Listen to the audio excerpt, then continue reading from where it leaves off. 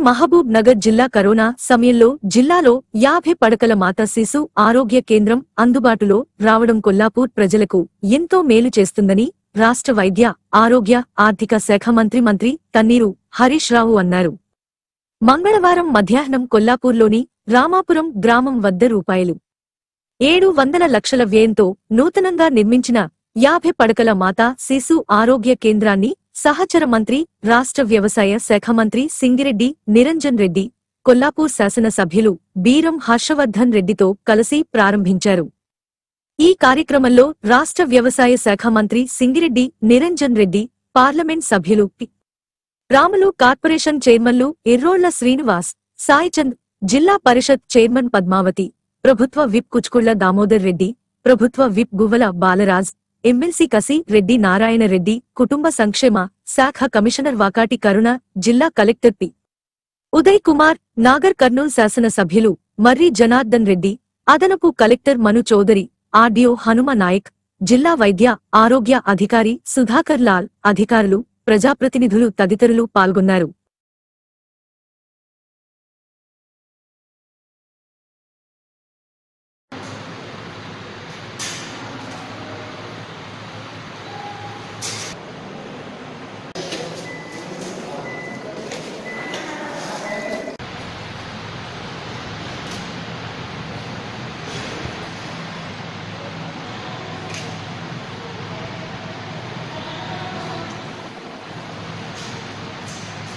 కలిసి సెంటర్ అడుగుతా అంటే ప్రెస్ కోసం మాట్లాడుతున్నాం అంతే సభ గౌరవనీయులు హర్షవర్ధన్ రెడ్డి గారికి గౌరవ మంత్రివర్యులు మిత్రులు పెద్దలు నిరంజన్ రెడ్డి గారికి గౌరవ శాసనసభ్యులు జనార్దన్ రెడ్డి గారు బాలరాజు గారు దామోదర్ రెడ్డి ఎమ్మెల్సీ గారు నారాయణ రెడ్డి ఎమ్మెల్సీ గారు పెరోల శ్రీనివాస్ గారు సాయి చంద్ర గారు గౌరవ జడ్పీ చైర్మన్ మున్సిపల్ చైర్మన్ ప్రజాప్రతినిధులు అందరికీ పేరు పేరు నమస్కారం.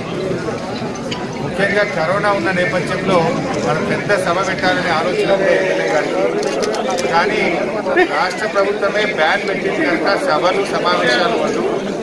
కరోనా సమయంలో ఆసుపత్రి అందుబాటులోకి వస్తే ఈ ప్రాంత మరి ఈరోజు మనం ఈ ఆసుపత్రిని ప్రారంభం చేసుకున్నాం ఏడాది ముందే రైతులకు ఇరవై నాలుగు గంటల ఉచిత కరెంట్ ఇవ్వడం జరిగింది. అదే పద్ధతిలో అదే పద్ధతిలో మీరు ఇక్కడే మాట్లాడుతూ ఉండండి.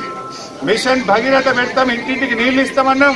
నీళ్ళు ఇచ్చి చూపించాం రేపు కూడా ఇంగ్లీష్ మీడియంలో మా పిల్లలకు చదువు చెప్తాం.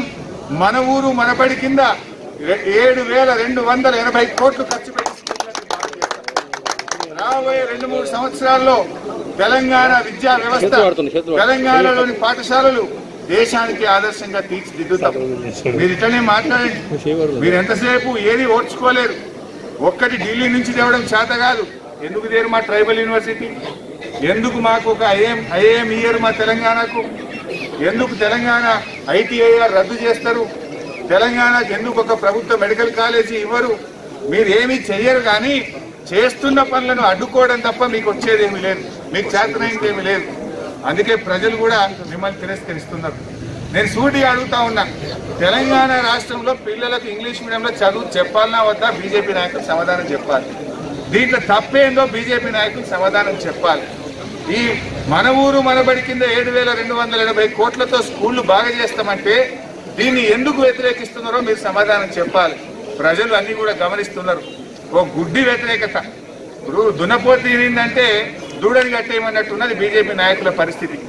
అది ఏది మంచి ఏది చెడు అనేటువంటి ఇంగిత జ్ఞానం కూడా లేకుండా ఒక సోయి లేకుండా విమర్శలు చేయడమే ఒక పనిగా పెట్టుకొని వాళ్ళ విలువను దిగజార్చుకుంటున్నారు తప్ప మంచి చెడును కూడా విశ్లేషించుకోలేకపోతా ఉన్నారు. సో ఏది ఏమైనా మరి మా ఇవాళ కరోనా వల్ల సభ పెట్టుకోలేకపోయినాం. భవిష్యత్తులో తప్పకుండా మళ్ళీ కొల్లాపూర్కి వచ్చినప్పుడు మిగతా ఎమ్మెల్యే గారు కోరిన కార్యక్రమాలు ప్రారంభించినప్పుడు కార్యక్రమం ఏర్పాటు చేసుకుందాం.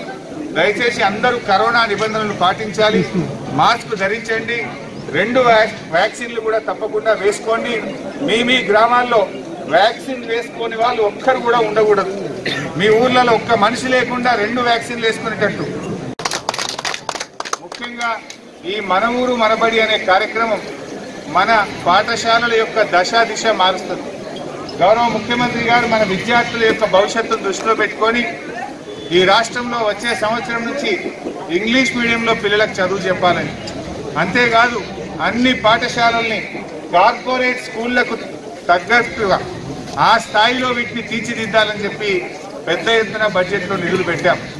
దీనికి ఇప్పటికే ఏసీడీపీ నుంచి ఎమ్మెల్యేల నిధుల నుంచి నాబార్డ్ నుంచి ఎస్ఎస్ఏ నుంచి రాష్ట్ర ప్రభుత్వం నుంచి నిధులన్నీ కూడా సమకూర్చుకోవడం జరిగింది.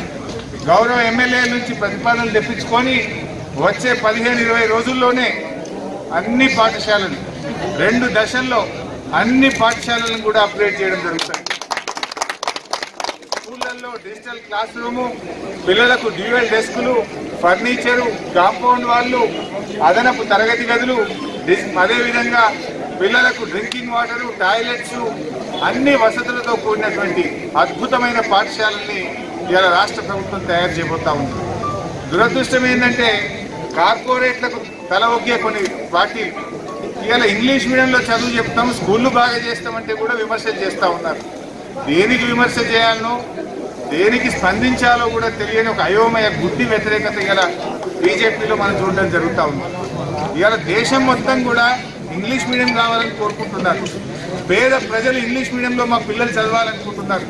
ఆ పేద ప్రజలను దృష్టిలో పెట్టుకొని ముఖ్యమంత్రి గారు వచ్చే సంవత్సరం నుంచి ఇంగ్లీష్ మీడియంలో చదువు చెప్పే అద్భుతమైన కార్యక్రమాన్ని ప్రారంభం చేస్తే దాన్ని కూడా తట్టుకోలేకపోతా ఉన్నాను వాళ్ళకు అసలు ఎందుకు అక్కసో అర్థమైతలేదు? అంటే పేదలు బాగుపడద్దా? పేదలకు ఇంగ్లీష్ మీడియంలో చదువు చెప్పొద్దా? మీ పాలసీ ఏంటి అని నేను అడుగుతా ఉన్నా బీజేపీ పార్టీ.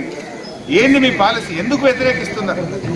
ఇంగ్లీష్ మీడియంలో చదువు చెప్పడం తప్ప స్కూళ్ళు బాగా చేయడం తప్ప అంటే మీరు పిల్లలకు ఉద్యోగాలు ఇస్తామంటే అంటే మీకు ఉద్యోగుల విభజన జరగద్దు పిల్లలకు ఉద్యోగాలు రావద్దు. పిల్లలు ఇంగ్లీష్ మీడియంలో చదువుకోవద్దు స్కూళ్ళు బాగుపడద్దు. ఇదేనా మీ విధానం? మంచిని కూడా కనీసం జీర్ణించుకోలేరా అని చెప్పి నేను అడుగుతా ఉన్నాను ఈ మన ఊరు మనబడి అనేటువంటిది డెఫినెట్గా అత్యద్భుతంగా కాబోతా ఉంది. గతంలో ముఖ్యమంత్రి గారి అసెంబ్లీలో రైతులకు ఇరవై నాలుగు గంటల ఉచిత కరెంట్ ఇస్తా అని చెప్పి అనౌన్స్ చేశారు. అప్పుడు ప్రధాన ప్రతిపక్ష నాయకుడిగా ఉన్న జానారెడ్డి గారు ఏమన్నారంటే ఏ ఎక్కడికి వెళ్ళిస్తావు? ఇళ్ళకే కరెంట్ లేదు పరిశ్రమలకే కరెంట్ లేదు నువ్వు బయలకాడ ఎడికెళ్ళిస్తావు అన్నారు. నువ్వు గీట ఇస్తే నేను టిఆర్ఎస్ పార్టీకి ప్రచారం చేస్తా అన్నాడు జానారెడ్డి గారు. గారు ప్రయత్నం చేయాలని చెప్పి కోరుకుంటూ జై తెలంగాణ.